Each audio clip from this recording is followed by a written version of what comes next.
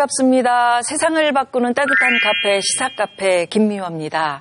자 오늘 저와 함께 감나라 배나라 이야기해 주실 패널 두 분 먼저 소개를 좀 해 드리겠습니다. 어, 심규환 전 경남도 의원 나오셨고요. 김갑수 한국사회 여론연구소 대표 나오셨습니다. 어서 오십시오. 네, 안녕하세요. 네. 어, 4월이 다시 돌아왔습니다. 예. 예전에는 벚꽃이 피고 벚꽃잎이 쫙칠 때, 그때 참 아무 생각 없이 아, 아름답다 이렇게 바라봤었는데, 지금은 벚꽃잎이 지는 걸 보면 마음이 아파요. 왜 그렇죠. 그럴까요? 뭐 아무래도 이제 4월 하면 우리가 이제 저는 80년대 대학을 다녔기 때문에 5월 하면 보통 그때는 광주였는데 네. 그, 그 뒤로 이제 4월 이러면 세월호를 아무래도 이제 떠올릴 수밖에 없는 상황이니까요. 한국 사회가 세월호 이전과 세월호 이후로 나눌 수 있을 것이다. 라고 할 만큼 사실은 어, 굉장히 뭐랄까요. 충격이면서도 우리 한국 사회가 지금 어디에 서 있는지에 대해서 되물어 볼 수 있었던 예, 그런 계기가 아니었는가. 그 영국의 뭐 시인 T.S. 엘리어트가 그랬으니까 뭐 4월은 잔인한 달이라고 이런 식기가 있는데 사실 저는 그 말이 무슨 이해가 안 됐습니다. 근데 오히려 이번 세월호 사건을 계기로 해서 그 말의 의미가 정말 와닿는 그런 계기가 되었는데 아직도 뭐 크게 그 당시나 지금이나 이제 변화가 없다는 게 더 안타깝게 생각하고 있습니다. 그렇죠. 1년이 흘렀음에도 불구하고 우리는 여전히 또 그 이야기를 하지 않을 수 없는 그런 자리에 다시 앉아 있습니다. 그래서 오늘 저희가 이 얘기 준비했습니다.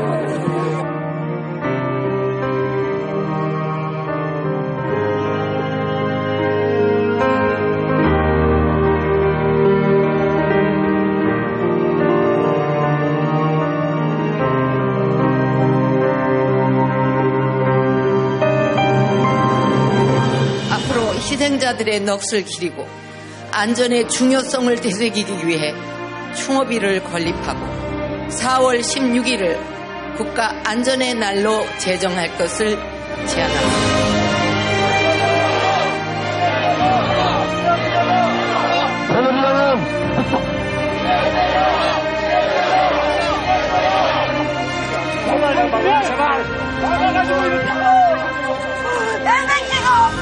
두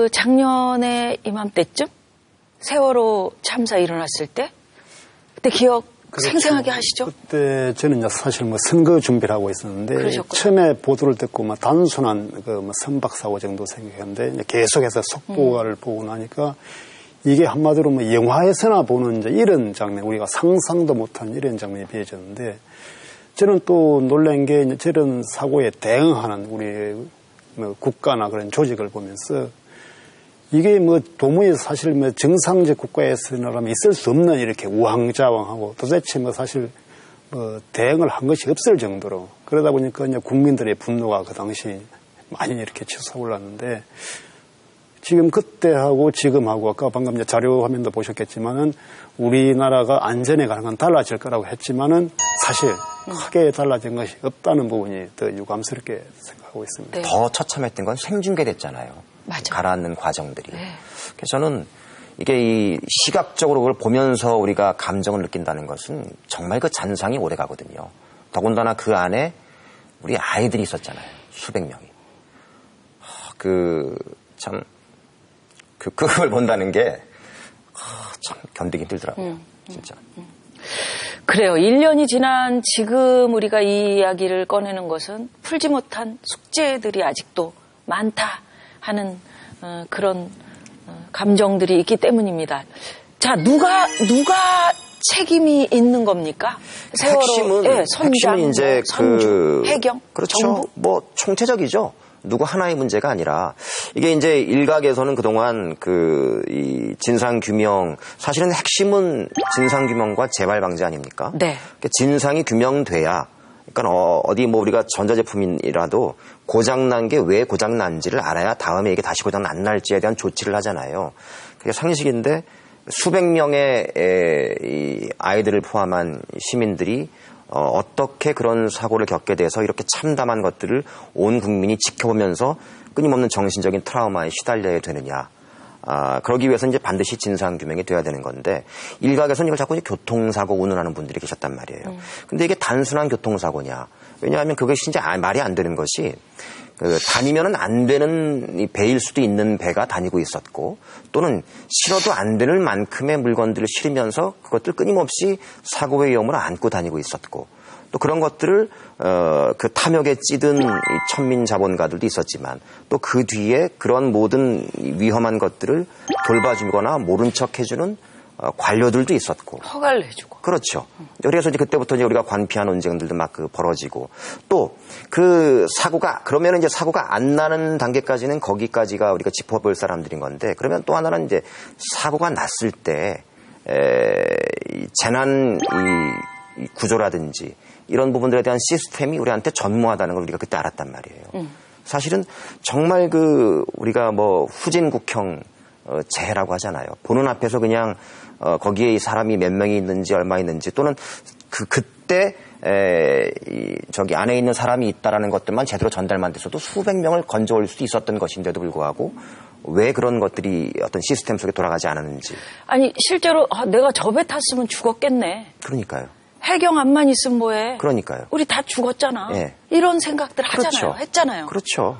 그러니까 그런 공포 속에서 어, 그 뒤로 이제 이 세월호까지는 아니지만 어, 다양한 맛- 그 개통에서 안전사고들이 계속 반복되면서 1년이 지난 우리는 여전히 아까 대통령 말씀도 나왔지만 어, 그때보다 안전한 사회에 살고 있는 거냐 물었을 때 음. 그렇다라고 답할 국민이 얼마나 되겠다는 거죠. 네.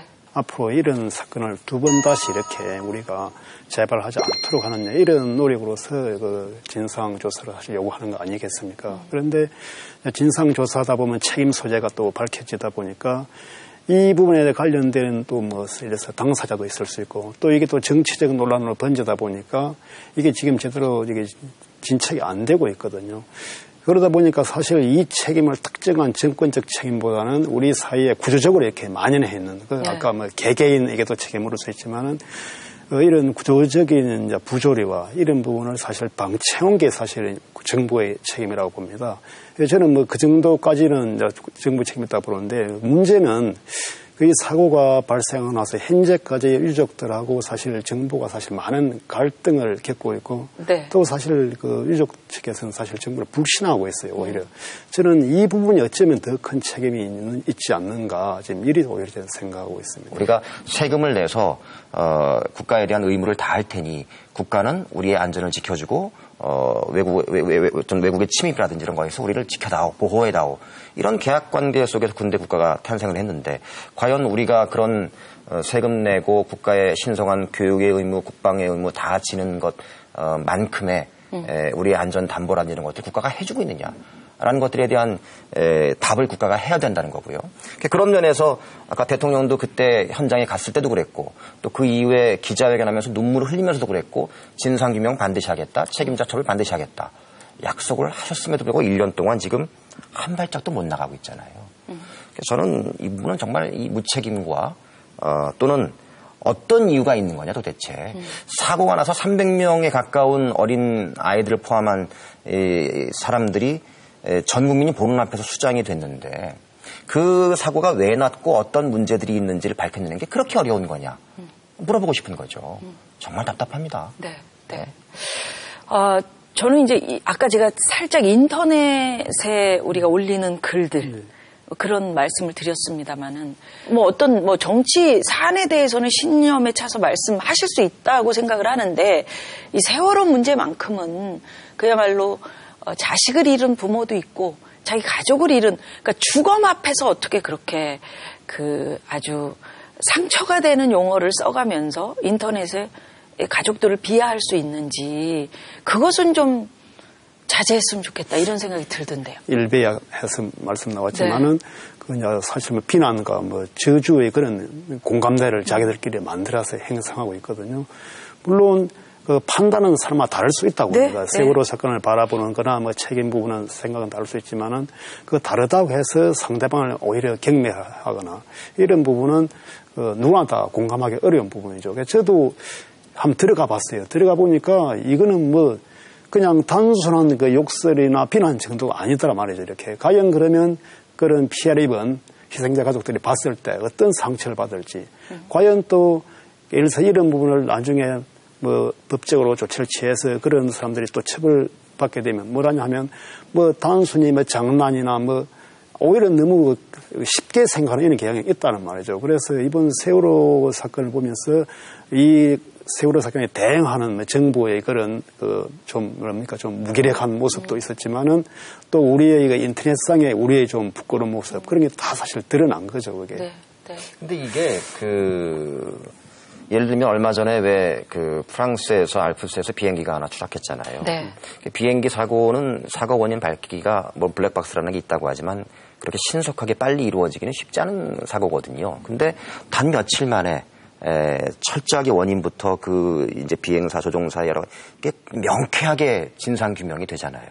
그래서 이제 그런 다음부터 그 사회는 어떤 고민을 하냐면은 자 그럼 비행기 조종사를 채용할 때 매뉴얼들부터 시작해서 음. 다 손을 본단 말이죠. 두 명이 함께 들어가도록 그렇죠. 한다 뭐 이런. 그렇죠. 음.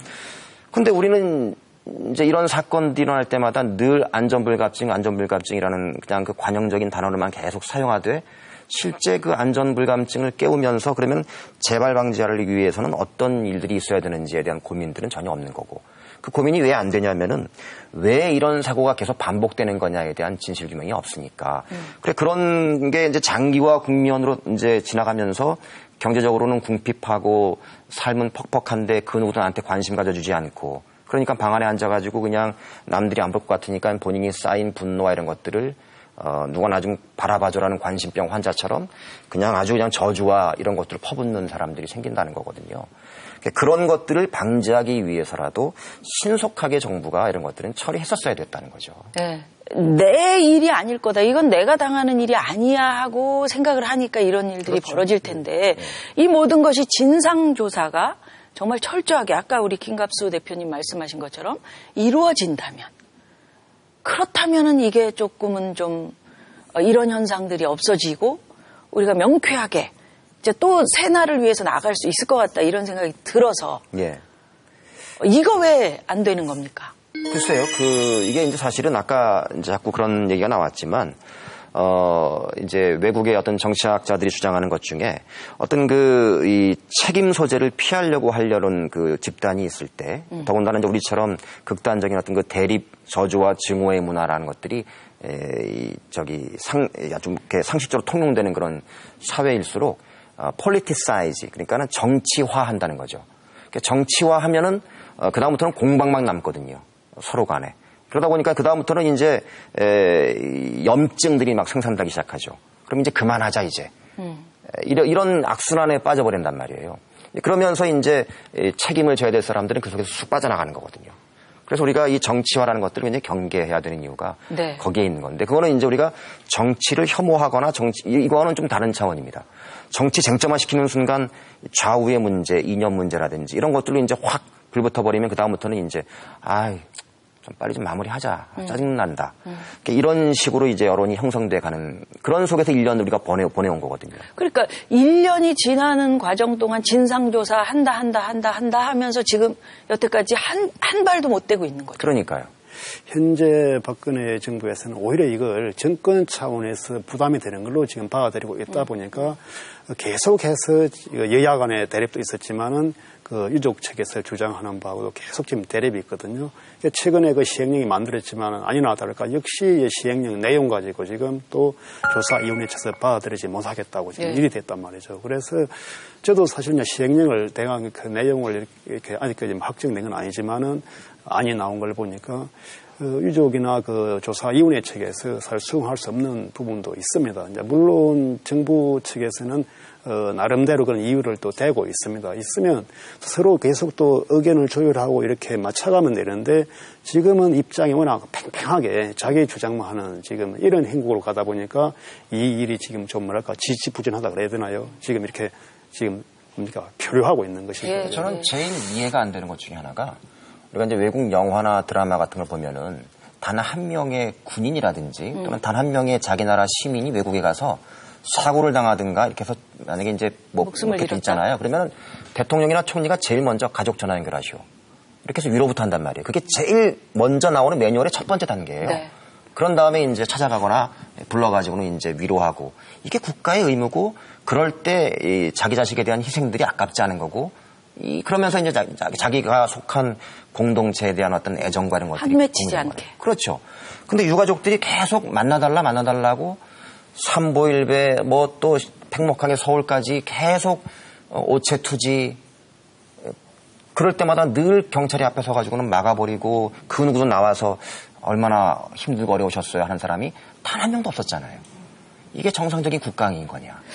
저는 그 지금 이제 뭐 여당 말씀하셨습니다만은 지금 이제 집권당이니까요.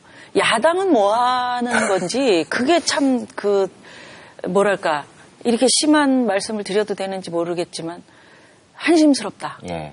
견제하라고 야당 여당이 있는 거 그럼요. 아닙니까? 그러니까 예. 그분들이 유족들이 왜 길거리에서 이렇게 힘들게 에, 투쟁을 하는 한 듯이 보여야 되는 건지 야당이 대신 싸워 주셔야 되는데 가만히 계시거든요. 그리고 유족 네. 측에서도 이제 사실 이제 정치권을 그냥 불신하고 있는 거죠. 여- 야도 불신하고 여도 불신하고 그러다 보니까 자기들이 직접 당사 당사자가 되어서 정부 측하고 바로 대화하겠다고 지금 하는 거 아니겠습니까? 그게 그러니까 예. 모든 일을 다 당사자가 돼서 정부하고 대화를 하기 시작하면 무슨 일도 다 힘들어지는 그렇죠, 거죠. 예. 지금 이제 두 분 말씀하셨습니다마는 세월호 참사 특별조사위원회 뭐 여야가 다 합의를 했고 그다음에 그 유족들이 같이 참여를 하고 이러면서 이제 시작을 했는데 이게 제대로 굴러가지 않는 것 같아서 저희 제작진이 여기 특위의 위원을 한 분을 만나서 얘기를 들어봤습니다. 말씀 듣고 또 얘기 나누죠. 첫째는 이제 어, 세월호 참사와 관련된 원인 규명과 같은 진상 파악이 하나고요. 또 이제 피해자 지원 대책 점검하는 게 두 번째고 마지막으로는 이제 어, 재해 재난에 대한 사전 예방, 사후 대응 방안을 마련해 가지고 안전한 사회를 건설하는 것 이게 세 번째 업무입니다. 2월 초쯤에는 사실 출범할 줄 알았습니다. 그래서 저희가 아, 상임위원 중심으로 설립준비단을 구성해서 직제, 뭐 시행령, 예산안 같은 거를 이제 짜고 있었는데요. 아, 1월 16일 경으로 지적되는데 여당 의원 한 분이 이제 아, 세금 도둑이라는 발언을 하면서 갑자기 이제 정부 부처와 협의도 중단이 되고 어, 파견되었던 공무원들도 일방적으로 철수되는 등 여러 가지 좀 어, 파행적인 과정이 있었고요. 해수부에서 시행령안을 입법예고 했는데요. 그 입법예고된 안이 저희가 생각하는 거하고 너무 형격한 차이가 있어서 어, 우리 위원장께서 도저히 받아들일 수 없다고 보고 어, 시행령 철회 운동에 나서게 된 겁니다. 특별히 이제 주요한 직책에 파견될 공무원들을 보면 어, 조사 대상 기관이 될 그런 쪽에서 파견된 공무원들이 상당히 많고 핵심적인 직책들을 이제 공무원들이 다 하게 됩니다. 그래서 저희 생각으로는 어, 이렇게 되면 이제 공무원들이 장악하는 이제 특조위가 돼버린다는 거고요. 또 하나는 어, 법의 규정보다도 그 각 소위원의 업무를 제한하고 있습니다. 어, 대폭 축소하고 있기 때문에 저희 입장에서는 어, 법이 정한 것보다 줄어들었다면 그거는 시행령이 그 상위법인 법령 법에 대해서 위반하는 거가 되고요. 또 전체적으로 어, 공무원들이 장악하는 그런 특조위라면 어, 객관적인 또 중립성 있는 독립적인 활동을 통한 어, 객관적인 결과물을 내기가 어려워요. 그렇다면 이제 국민들이 그걸 안 믿게 되죠. 공무원들이 다 만들어낸 거다 오해하기 쉽겠죠. 그래서 저희 입장에서는 현재의 이 시행령 안으로는 어, 특별조사위원회가 업무를 어, 제대로 수행할 수 없다 이렇게 판단하고 있는 것입니다. 지금 현재 이런 상황이 과연 정부 여당의 다수의 의견일까 궁금합니다. 만약에 제가 정부 여당 측 사람이라면 아, 그동안의 세월호 참사로 인해서 얼마나 많은 분들이 정부를 비판했습니까? 아, 그리고 많은 의혹들을 제기했습니다. 근데 이번 기회에 세월호 특조위가 그 많은 것들을 해소시킬 수 있는 기회가 지금 주어진 거거든요. 제가 만약에 정부 여당의 당국자라면 이번에 세월호 특조위 인력, 조직, 법이 정한 범위 내에서 다 해라. 열심히 해가지고 객관적인 결과를 내놔라.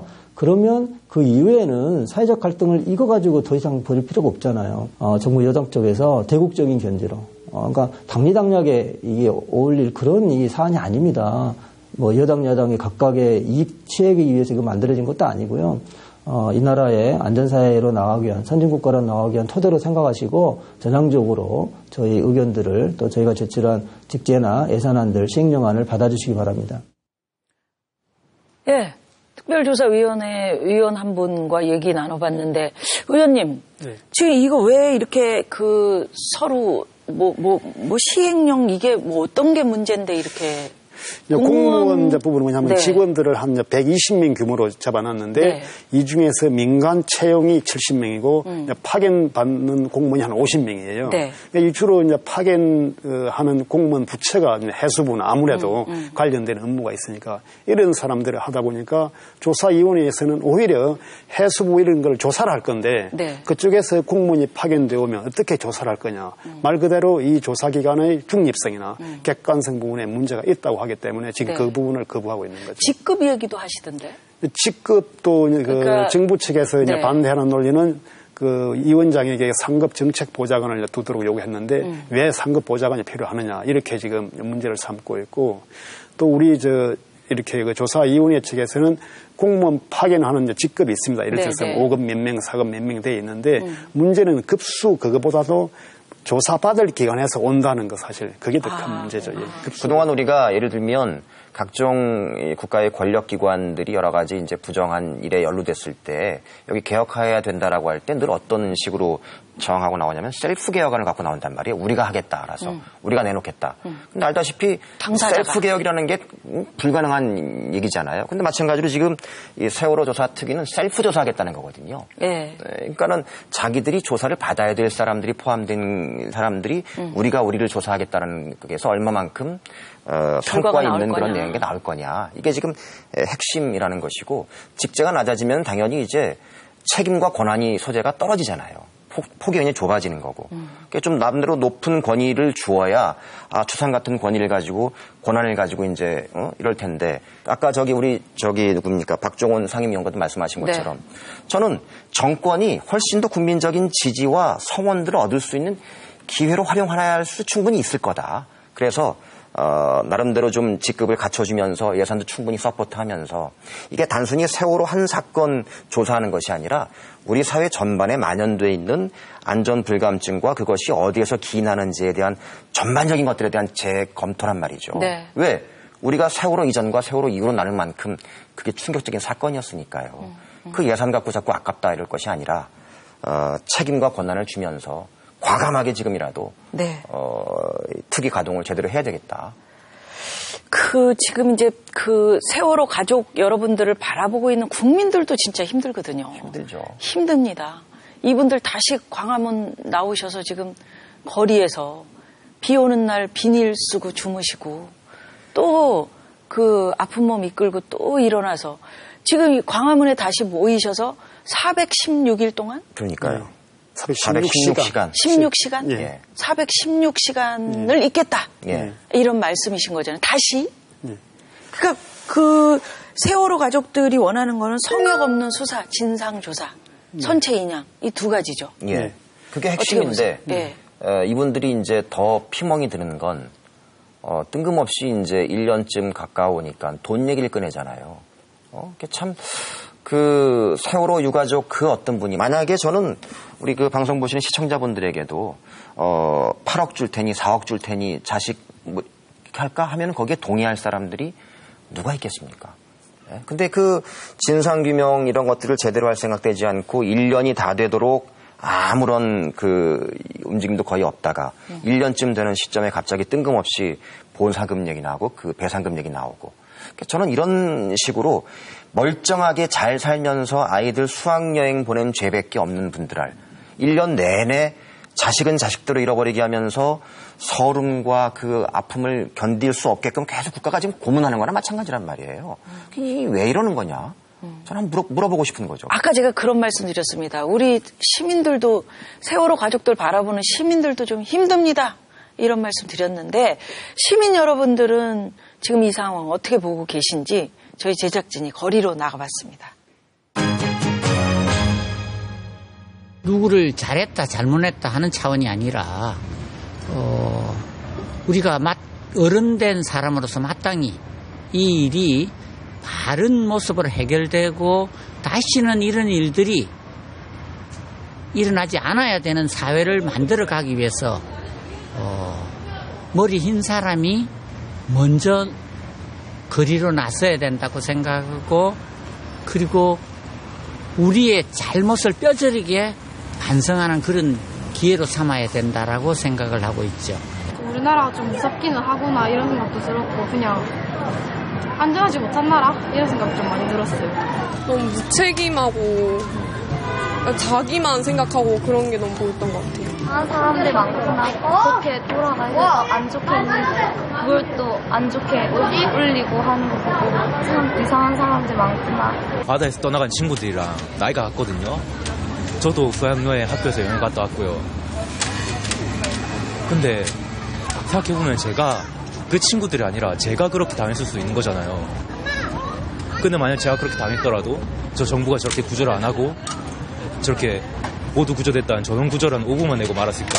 그런 생각하면 제가 그 친구들도 불쌍하고 저도 그 친구도 억울할 만큼 저도 억울하고 정말 많은 공감이 돼가지고 화가 치밀어 오르더라고요. 그 세월호 사건 초반에 본, 초반에 비하자면은 아 그때 그렇게 눈물 흘리던 많은 국민들 그 사람들 다 어디로 갔나 싶어요. 좀 화가 났던 거는 정부에서 대처하는 방법 자체가 너무나도 좀 미숙하지 않았나. 그리고 이제 그 후에 그걸 처리를 할 때 처리했던 부분들이 너무나도 책임 회피식으로 진행됐던 부분들이 사실은 그 당시에 있었던 사, 현장에 있었던 일보다는 그 후에 처리 방법 자체가 더 문제가 있어서 더 화가 많이 나고 지금도 사실 그것 때문에 좀 많이 슬프기도 하고 그렇습니다. 어른들 때문에 어른들 진짜 그 사람들 기본 양심도 없는 사람들 때문에 너무 아까운 애들이 많이 죽었잖아요. 근데 나는 그걸 보면서 또 학생들만 너무 조명했잖아요. 그죠? 일반 사람들. 일반 사람들도 내가 많이 죽은 걸로 아는데 그 사람에 대한 거는 어떤 것도 안 나오고 그죠? 그러니까 너무 그러고 너무 오래 끄가 너무너무 오래 방송을 해가지고 내가 이럴 때 언제쯤 우리나라가 이 바다에서 빠져나올 수 있을란가 그랬어요 진짜 바다 속에 다 온 국민이 다 빠졌었잖아요 당연히 어, 구조가 되, 되, 구조 활동이 되고 있을 거라고 생각했었는데도 불구하고 되지 않았고 언론에서 수없이 다른 이야기를 꺼내어 왔기 때문에 어, 진실에 다가가지 못했던 마음들이 더 분노로 커지지 않았을까 그런 생각하거든요. 내가 살고 있는 사회가 나의 안전과 건강, 나의 가족의 안전과 생명을 지킬 수 있는 사회였을 거라고 믿었던 거에 대한 분노, 배신 이런 것들이 컸 지 않았나 이런 생각해요. 다시는 이런 일이 벌어지지 않아야 할 텐데 대통령께서 국가 개조론까지 얘기하시면서 안전에 대해서 책임지겠다. 우리가 안전을 향해서 가자 하셨는데 과연 안전해졌는지. 박근혜 대통령이 국가 개조론을 이렇게 말씀하시기 전에 네. 그 대통령 후보 시절에 이렇게 공약을 내걸었습니다. 안전하고 지속 가능한 사회를 만들겠다. 여기서 이제 말하는 안전은 우리 재난에 대한 이런 안전보다는 그 범죄나 또 먹거리에 대한 안전 이런 부분이었습니다. 그런데 박근혜 정부가 출범하고 나서 한 첫 작품이 뭐냐면 어, 행정안전부 명칭을 안전행정부로 고친 겁니다. 음. 이게 안전을 앞으로 뺐으면 네, 그만큼 네. 안전에 대한 기능이 강화돼야 되는데 이름만 고쳤다는 거죠. 음. 그러니까 사실상 안전에 대한 정책이 달라진 건 전혀 없었습니다. 없었고 이번에도 국가 개조론 하면서 이제 국민 안전처를 이렇게 신설하지 않았습니까? 그 전에 물론 이제 해경을 해체하겠다고 이렇게 이제 말씀하셨고요. 그러니까 문제가 있으면 그 해경의 기능 중에 이번에 이제 문제된 것은 주로 이제 구조 군안 부분에 사실 문제가 된 건데 그런 기능을 보완하든지 고치든지 해야 되는데 해경이 수행하는 여러 가지 기능이 있습니다. 그런데 네. 해경 전체를 해체해 버렸거든요. 그래서 제가 볼 때는 좀 즉흥적으로 이거 대응한 것이 아닌가. 음. 비록 우리 저 국민 안전처가 만들어졌지만은 국민 안전체 만들어지고 나서도 지금 큰 조그마한 사고들이 계속 지금 몇 가지 이어졌거든요. 네. 역시 여기에 대응하는 거 보면 크게 지금 달라진 거는 없다. 지금 이렇게 느끼고 있습니다. 근데 대통령 혼자서 모든 일을 다 하실 수는 없는 것이고요. 물론이죠. 네. 어, 대통령께서 안전처 만들어서 국민 안전을 위해서 하자 라고 하면 밑에 있는 분들이 진짜 수족처럼 움직이셔야 되는데 그게 지금 안 되고 있다는 말씀이신 그렇죠. 거잖아요. 이제 책임과 권한이 명확하게 주어져야 되는 것이고 오로지 그 일만을 전담하는 이 사람들이어야 되거든요. 음. 근데 이게 이제 각 부처에서 파견 내지는 이렇게 불러가지고는 그냥 자 여기 뭐 해양수산부 관할 무슨 관할 이런 식으로 그냥 어, 화학적 결합이 아니라 물리적인 결합을 해놓은 이 부처란 말이죠. 그리고 이 어, 국가안전처장이 에, 유사시에 이런 일이 벌어졌을 때, 자, 해군 필요하니까 해군, 자, 뜨시오, 배 띄우시오, 공군, 뭐 헬리콥터 띄우시오, 이럴 수 있는 권한이 없단 말이에요. 음. 아니, 저 어디서 잘못된 거예요? 아니, 그런 권한을 다 주겠다라고 하고 만드셨잖아요. 근데 뭐, 방향이 약간 예. 이게 제가 볼 때 잘못됐다고 보는 게 이제 음. 대통령께서 그런 의지를 가지고 국민 안전처를 만들었습니다. 문제는 이 국민 안전처가 뭐냐 하면 주로 이제 재난이나 안전에 관련된 거고 특히 제일 중요한 것이 물론 사고 재발을 막기 위한 그런 정책도 중요하지만은 사고가 났을 때 세월호처럼 그 그냥 현장에서 즉흥적으로 초등 대응을 잘하는 게 중요한 문제 아니겠습니까 사실. 음. 그래서 이제 국민 안전처를 만들었는데 문제는 국민 안전처 이 조직이 현장의 그런 인력보다는 중앙 관료 중심으로 재편이 돼버린 거예요, 이게. 음. 그러다 보니까 오히려 중앙 관료들은 많아지고 현장에서 직접 일하는 실무 인력들은 말 그대로 중앙 인력에서 명령만 하면 따르는 상황. 그러면 과연 세월호 같은 사건이 발생했을 때 네. 현장에 출동한 거기서 제대로 판단해서 빨리 조치를 취해야 되는데 서울에 있는 그 부처에서 전화로 보고받고 상황을 지휘하겠느냐.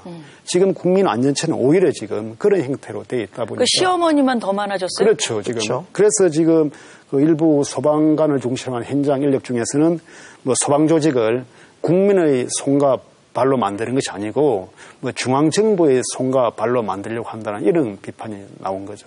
근데 그 국가안전처라는 것이 에, 지금 이제 얘기가 되는 방향들이 대부분 우리가 상상하는 게 사고가 벌어졌을 때 구조의 방점을 찍고 생각하잖아요. 네. 근데 사실은 저는 그거보다는 사고가 안 나게 나는 게 더 본질적인 거거든요. 그래서 우리가 어, 세월호에 대한 명확한 진상 규명이 필요한 것이고 그 진상 규명의 핵심 속에 에, 누가 왜 어떠한 의도로 어떠한 이득을 위해서 어, 수많은 규제를 풀어줌으로 해서 어, 이 말도 안 되는 배들이 끊임없이 왔다 갔다 하고 있었고 이런 모든 고리들을 파헤쳐야 되는 거거든요. 국가안전처라는 거기서 해야 되는 거죠. 거죠. 맞죠? 그렇습니다. 네. 예. 그게 가장 본질적인 거고 국가안전처장께서 저는 상식적으로 세월호 안전 우리 그 진상- 진상규명 특위 네, 이런 데에서 하셔야죠. 음. 우리 적극 협조하면서 같이 합시다.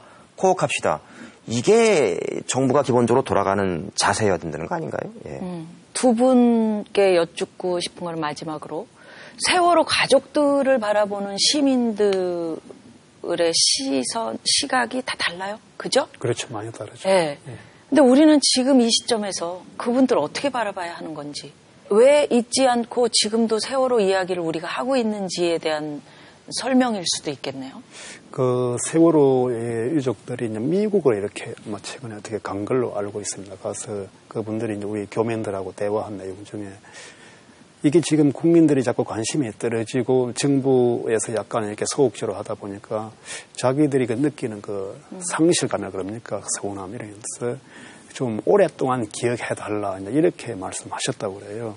저희들이 볼 때도 그분들이 오랫동안 기억해달라는 게그 이런 비극을 오랫동안 기억해달라는 것이 아니고 이런 그 있어서는 안 될 사건을 교훈 삼아서 이걸 이런 일이 안 일어나도록 해달라는 그런 이제 부탁으로 보는데 아까 우리 김갑수 대표님 말씀처럼 정말 두고두고 그 희생이 헛되이 되지 않도록 이런 좀 시선이 필요합니다. 그러니까 저도 이번 그 세월호 사건을 다시 이렇게 한번 검토해 보면서 저도 깜짝 놀란 게 어, 정부 측에서 좀 약간 이렇게 너무 소극적이다 보니까 결과적으로 지금 이게 모든 건 배제되고 서로 지금 갈등과 대립만이 남아있고 그러다 보니까 오히려 국민들을 이렇게 하나로 통합시켜야 될 그런 역할이 좀 제대로 안 되고 있거든요. 그래서 이제 그런 부분에서 우리 일반 시민들도 좀 더 따스한 시선으로 바라보고 또 세월호 이렇게 조사 이후에 이게 제대로 조사가 될 수 있도록 그렇게 좀 뭐 관심을 기울일 필요가 있다고 생각하고 네. 있습니다. 네. 저는 그 그런 관점에서 좀 바라보고 싶은데요. 건강한 시민 사회란 어떤 사회냐? 어, 건강한 시민 사회와 건강하지 못한 시민 사회는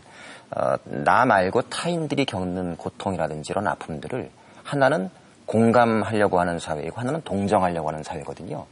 그러니까 건강한 시민 사회는 공감이라는 것은 어, 저 사람이 느끼는 고통이 내가 느끼는 고통이 되고 저 사람이 보는 것이 내가 보는 것이 되는 그런 게 우리는 이제 시민의 에, 건강한 시민 의식이라고 얘기하는데 우리 사회가 건강한 시민 사회라면 어, 여전히 세월호의 그 세월호 가족은 남이 아니라 곧 나인 거고 이런 것들이 재발되지 않도록 하는 대책 마련이 되지 않는 이상 우리 모두가 잠재적인 세월호 가족인 거예요. 아까 우리 그 시민 인터뷰가 저는 진실이라고 보는 게 우리 모두 뱃속에 가라앉아 있잖아요. 여기서 나오기 위해서라도 세월호 가족분들과 어깨 걸어주고 그 고통이 나의 고통이라는 어, 자세와 태도로 함께 에, 나란히 좀 서줬으면 좋겠다. 네. 오늘 두 분 말씀 잘 들었습니다. 고맙습니다. 네, 네, 고맙습니다. 수고하셨습니다.